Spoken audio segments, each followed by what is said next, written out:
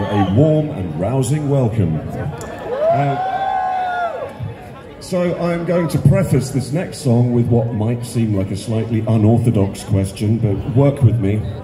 The question is this Do you like dinosaurs?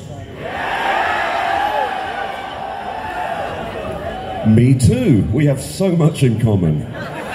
Um, you'll be delighted to learn that this next song is kind of my tribute to our saurian forebears from yesteryear.